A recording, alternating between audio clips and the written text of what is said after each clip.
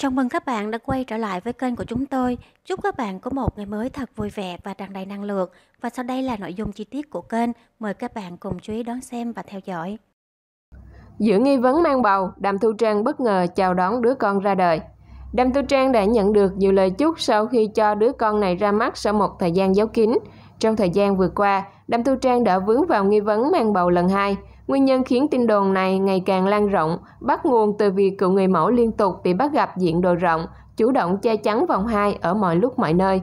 Khi cư dân mạng vẫn đang bàn tán sôi nổi về nghi vấn Đàm Thu Trang có thể đã có bầu lần hai, thì mới đây người đẹp đã chơi lớn công khai đứa con cô ấp ủ trong thời gian qua. Đàm Thu Trang. Cụ thể Đàm Thu Trang hạnh phúc cho biết việc kinh doanh của bản thân đã mở rộng phạm vi hơn so với trước đây. Chào đón đứa con thứ năm, chào quận 7.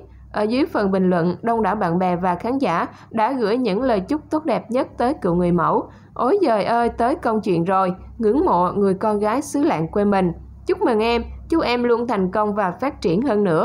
Đàm Thu Trang không giấu khỏi sự vui vẻ, hân hoan trước việc đứa con thứ năm được ra mắt sau một thời gian dài chuẩn bị. Sau khi kết hôn với Cường Đô La, Đàm Thu Trang đã rút khỏi làng giải trí và tạm gác sự nghiệp hoạt động nghệ thuật.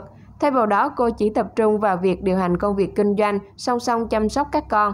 Trên trang cá nhân, cựu người mẫu thường xuyên chia sẻ những khoảnh khắc đời thường bên cạnh chồng doanh nhân và ái nữ Su Chin.